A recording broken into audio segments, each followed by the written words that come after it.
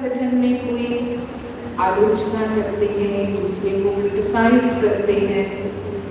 माना हमने अवगुण नहीं देखा, लेकिन कोई हमारे अवगुण, हमारी कमियाँ गलत फैला देता है।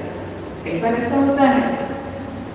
ब्राह्मण परिवार में भी कई बार ऐसी बातें, गलत गलत बातें, जैसे अभी हम बात कर रहे थे कि गलत गलत बातें फैल जाती हैं। सही में वो समाचार सही नहीं होता है। हम भी यहाँ मधुबन के संगठन में रहे इन सालों से, तीस साल हो गए यहाँ रहते हुए।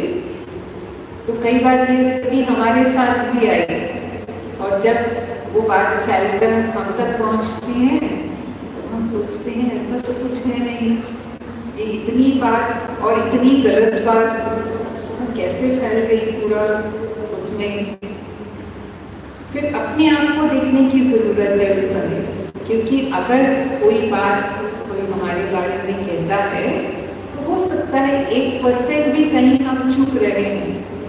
कहने वाला तो उसे बहुत बड़ा चढ़ा कर कहता है। इसीलिए वो इतना इस रूप से गलत रूप से फैल जाती है।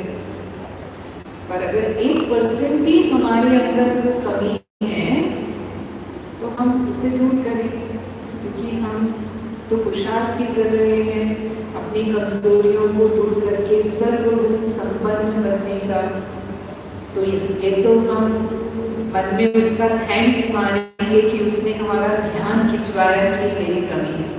बाबा कई बार कहते हैं कि कई बार हमारी दूर की नज़र तेज होती है लेकिन जो नज़दीक की नज़र होती है वो कमज़ोर होती है।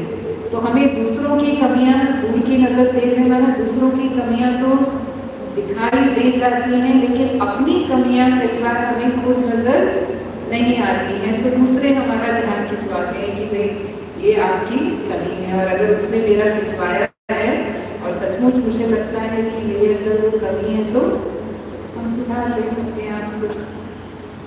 तो फिर हमने भी ऐसे ही किया कि कहाँ, थोड़ी बहुत भी हमारी उससे संबंधित जो कमी थी पूरी किया और वो बात फिर समाप्त हो गई।